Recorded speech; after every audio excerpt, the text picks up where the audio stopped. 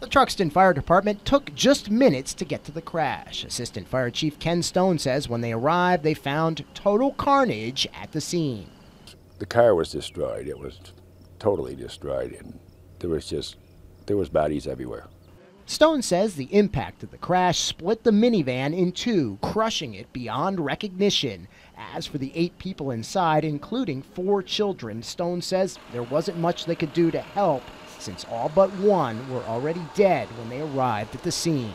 You can train and train and train, but you don't get trained for this, you know. And it's always tougher with little kids. Little kids is the worst. Truxton Fire Chief John Perry says he tried to keep some of his less experienced firefighters from seeing the gruesome scene. As for himself and his other veteran firefighters, all of whom have their own families, he says the scene immediately following the crash isn't one they'll soon forget. I didn't get much sleep. I'll tell you. It's you keep on wondering what you could have done better, you know, but uh, the situation, you know, you just had to do with what you could do and the best you could do it. With seven people dead, Chief Perry says this accident is by far the worst the fire department has ever seen, and a tragedy he hopes they never see again.